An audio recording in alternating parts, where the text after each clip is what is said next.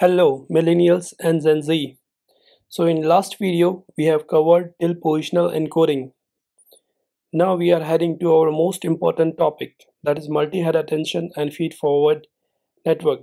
Before before going into the details of multi-head attention and feed-forward, let's let's first understand this NX multi-layer. In NX, let's understand how the data is going to flow from positional encoding to the different layers and then pass it to the decoder module. As we all know this is the encoder module and this is the decoder module. So uh, in positional encoding the data is uh, after the positional encoding the data is like this vector.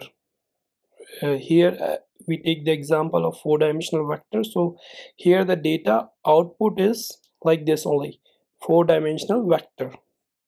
Definitely it adds the position into it position uh, position values into it but it is the four dimensional vector only.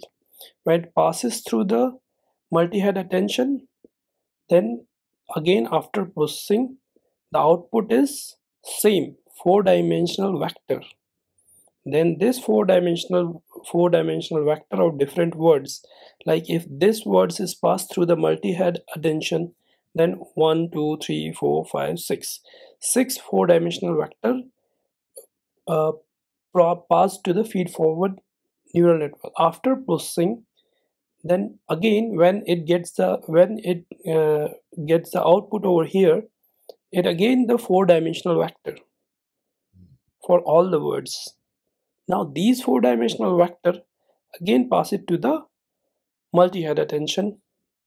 Like so here the simple simple understanding is that whenever the process gets completed it's in the four dimensional vector. Why we keep concentrate on that output is for always the same. What is the input? Because during the processing its dimension and its uh, its its numbering and its shape gets changed. But when it when it when it gets to the output it needs to be the same. So whatever be the input over here after multiple processings output is the same four dimensional vector. After this feed forward also output is same multi uh, four dimensional vector like this. So one layer gets completed.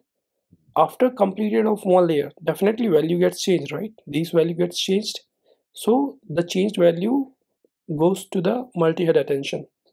Second second multi-head attention. Then second feed forward. Then completed. Then third multi-head attention. Then third third feed forward network. Completed then fourth.